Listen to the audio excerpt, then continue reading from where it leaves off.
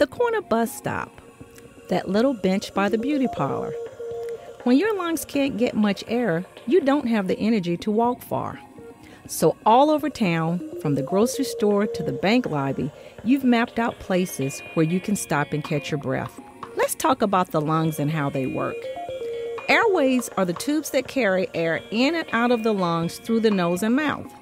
Healthy airways and air sacs in the lungs are elastic. They bounce back to their original shape after being stretched or filled with air, the way a new rubber band or balloon does. This elastic quality helps retain the normal structure of the lung and helps move the air in and out quickly. In people with COPD, the air sacs no longer bounce back to their original shape.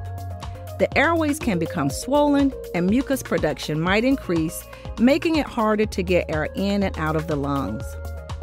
Most people who are at risk for getting COPD have never even heard of it. Here are some risk factors shortness of breath, chronic cough, or trouble performing simple daily activities, over age 40, and currently smoke or used to smoke. If you've worked around chemicals, fumes, or dust, and lastly, if you have certain genetic conditions.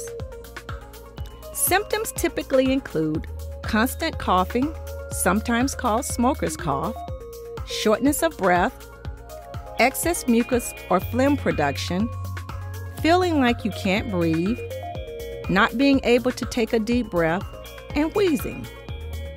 When COPD is severe, shortness of breath and other symptoms can get in the way of doing even the most basic tasks, such as light housework, taking a walk, bathing, and getting dressed.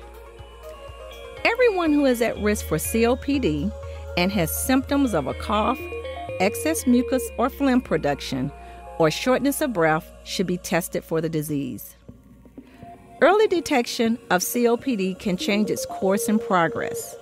To help prevent COPD, avoid tobacco use, inhaling tobacco smoke, home and workplace air pollutants, and respiratory infections.